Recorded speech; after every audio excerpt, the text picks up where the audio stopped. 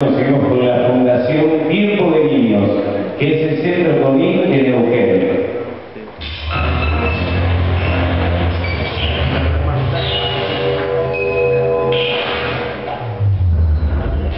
Fundación Tiempo de Niños. La Fundación tiene por objeto, en consonancia con CONIN, Cooperadora para la Nutrición Infantil, promover acciones preventivas orientadas a evitar la desnutrición infantil y trabajar en la recuperación de casos de desnutrición y malnutrición y realizar acciones tendientes a generar condiciones para que los niños en situación de riesgo social participen en actividades que les permitan desarrollarse y facilitar su integración a la sociedad. Para ello, aplica la metodología de la Fundación CONIN,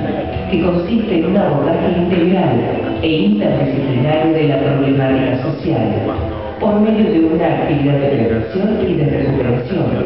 sustentada en tres pilares, asistencia, docencia e investigación.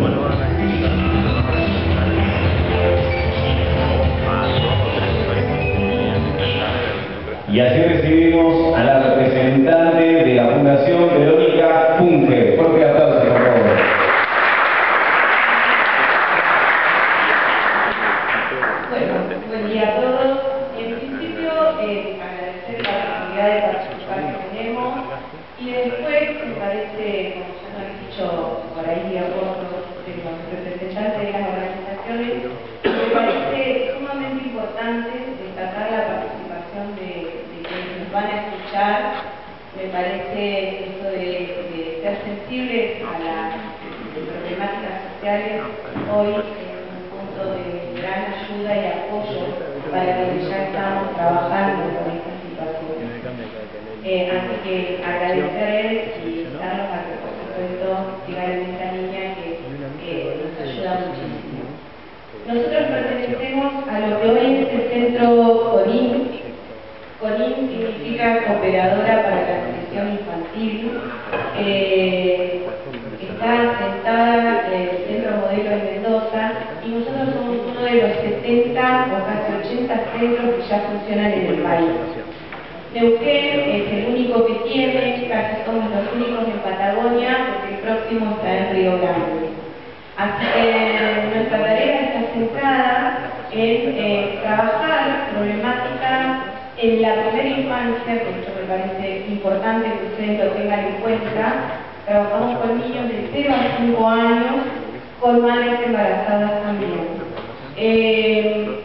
nuestro trabajo se, centraliza, nuestra está en eh, poder abordar situaciones de malnutrición o problemáticas de nutrición y riesgo social en esta población que les acabo de comentar. Eh, hoy en día estamos asentados en el oeste de la ciudad de Neuquén, trabajamos con familias que por supuesto están atravesadas por la complejidad de un sinnúmero de problemáticas, porque no solamente que hay problemas de, de malnutrición o este riesgo social es muy amplio, son diversas problemáticas que eh, afectan a estas familias con las que nosotros trabajamos. Así que el trabajo no siempre este, puede focalizarse solamente en lo que es nuestra misión, sino que también eh, no podemos dejar de mirar e intervenir en otras situaciones. Eh, para nosotros es un trabajo gratificante porque no focalizamos por ahí en lo que es eh, solamente el alimento o los hábitos nutricionales que por supuesto hay que modificar cuando hay este problema de malnutrición. Lo mismo tiene una tarea, eh, como decíamos al principio de la presentación, de un abordaje mucho más complejo e integral, porque lo que tratamos de hacer a través de un equipo interdisciplinario, por suerte tenemos un equipo muy amplio y estable, en el que tenemos pediatras, nutricionistas, psicopedagogas, estimuladoras, fonoaudiólogas, psicopedagogas, servicio social, eh, a través de esta intervención que es integral, porque lo que queremos es que los niños desarrollen toda su potencialidad a través de todo un circuito de estimulación que tiene que ver con la alimentación, pero que también tiene que ver con un montón de eh, otros estímulos y de desarrollos posibles que tratamos de que los eh, puedan recibir en nuestros centro. Es un trabajo bueno que, que, habría que explicarlo un poco más amplio, que después lo podemos hacer en detalle si ustedes lo demandan, pero bueno, básicamente, eh, si bien hacemos todo un complemento nutricional que se basa en un diagnóstico nutricional diferencial para cada niño, se trabaja con las necesidades que puedan tener cada uno de ellos y con cada uno de nuestros profesionales. Están divididos en salitas, allí eh, cada vez que concurren al centro tiene que concurrir con su mamá, su mamá también pasa a, ser este, parte del programa o del circuito del que estoy hablando, ella es este, eh, en principio recibe charlas eh, de salud o de temas que son muy sensibles y que necesitan información, orientación o atención y después recibe toda una, una parte de talleres de capacitación porque la idea es que la mamá sea la gente que transforma también, la gente más importante para transformar estas situaciones en las que sus niños están eh, afectados. Así que, bueno, hacemos un trabajo paralelo con madres y niños y con todo el equipo. Si tengo que decirles, por ahí en qué nos podrían ayudar ustedes, este, me parece que eh, tenemos que eh, ser claros y decirles que necesitamos mucho apoyo por ahí,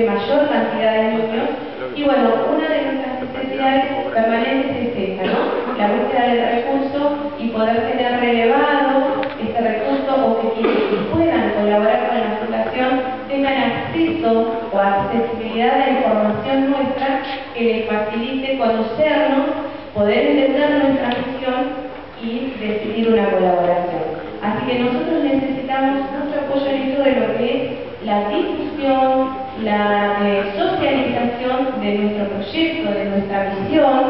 que hoy es una gran necesidad, que si bien eh, hace un tiempo estamos establecidos, pero la,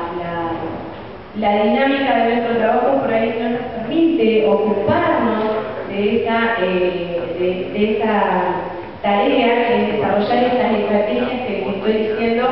de, para que nos puedan conocer, nos puedan apoyar, puedan colaborar. También trabajamos con el sistema de voluntariado, así que es importantísimo tener este, bases de datos de voluntarios, de posibles aportantes, eh, estrategias de difusión y de, como yo les decía, de, que sea conocida nuestra, más conocida nuestra nuestra tarea. Así que a mí me parece que por ahí resumiéndoles esto, eh, nuestra necesidad y lo que puede articular con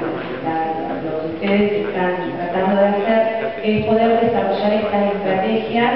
este, para que nuestro trabajo tenga apoyo, más apoyo todavía y por supuesto esto va a repercutir en que si nosotros tenemos más recursos, somos más conocidos, podamos llegar a atender más niños, más madres y poder hacer un trabajo mucho más amplio todavía del que ya estamos haciendo. Así que bueno, después si ustedes necesitan mayor información, por supuesto, cuenten que estoy dispuesta a, a comentarles más detalles de esta tarea. Gracias.